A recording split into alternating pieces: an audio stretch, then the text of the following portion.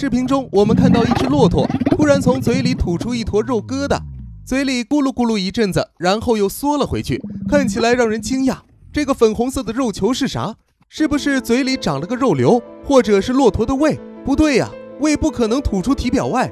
很多自媒体说它是骆驼的舌头，但事实上并不是。其实这个粉红色肉囊是骆驼的充气肉囊，是一个非常特殊的器官，阿拉伯语叫做 dula，属于上颚组织的一部分，可以充气，并且是雄性单峰骆驼的专属，雌性骆驼是没有的。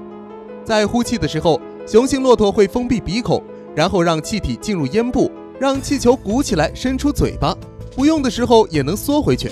一般来说，口吐肉球的操作并不常见，只有在交配季节才会发生。说白了。就是一种求偶信号，就像孔雀开屏一样，在雌性眼里，这些都是加分项目。说到这里，是不是让人大跌眼镜？没想到这种看起来恶心的肉囊还能吸引异性，真是颠覆我的三观。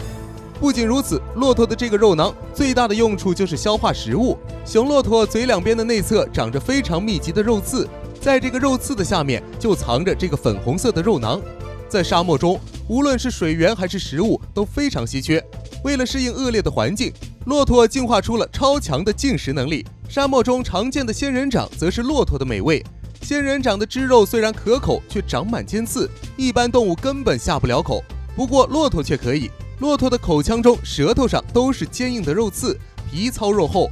吃仙人掌时不怕刺伤口腔、舌头，还能在咀嚼的过程中将仙人掌刺挑断，最终避免伤害到自己的肠胃。丹峰雄性骆驼在吃仙人掌时，这个肉囊还可以将仙人掌包裹起来，不得不感叹大自然真的很神奇，每个动物都有它独特的生存之道。好了，以上就是本期全部内容，点赞关注不迷路，我们下期再见，谢谢大家。